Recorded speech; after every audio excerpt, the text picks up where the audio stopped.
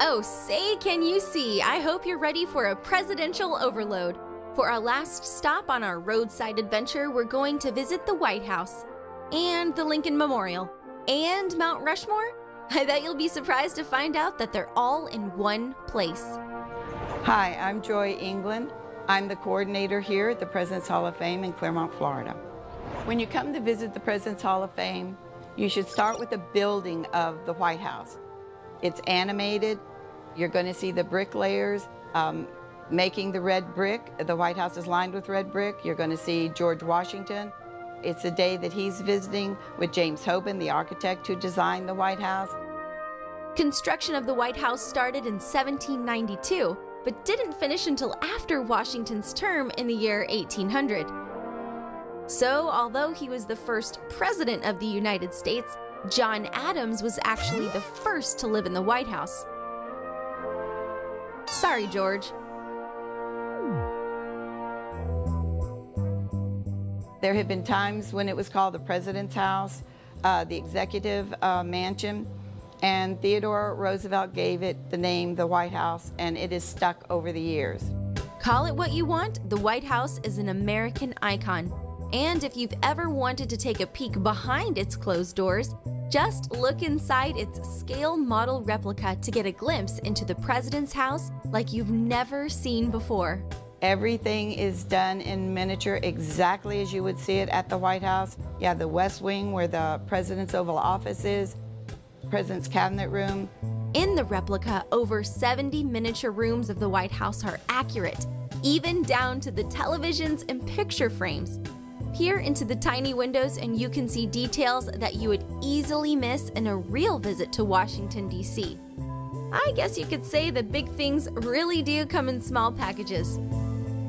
Here at the President's Hall of Fame, we have the Resolute desk. Um, it's actually uh, a reproduction of the desk that's at the White House. It was given to the White House by Queen Victoria when Rutherford Hayes was president.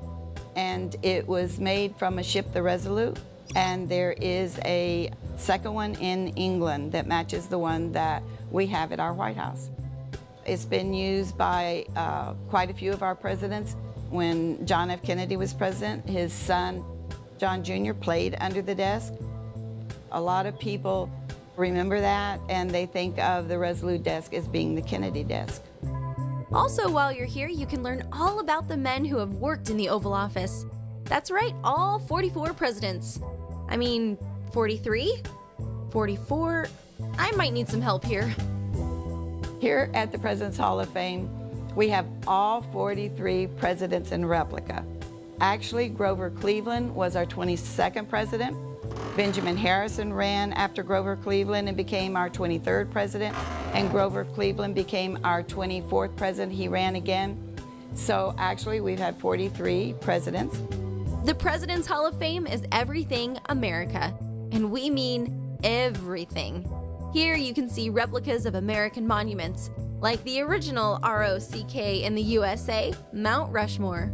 You can visit the White House, and you don't have to have a security check.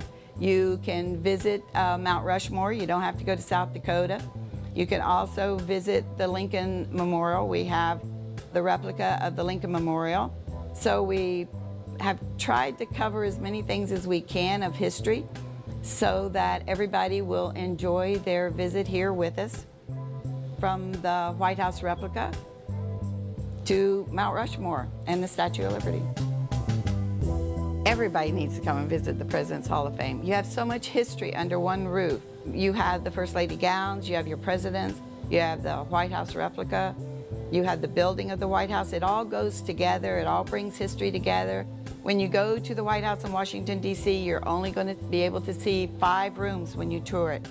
Here, you're going to get to see the private quarters of the presidents. You're going to be able to sit at the presidential desk, and you're going to be able to enjoy history and walk in history. We've never had anybody come in here that hasn't enjoyed themselves.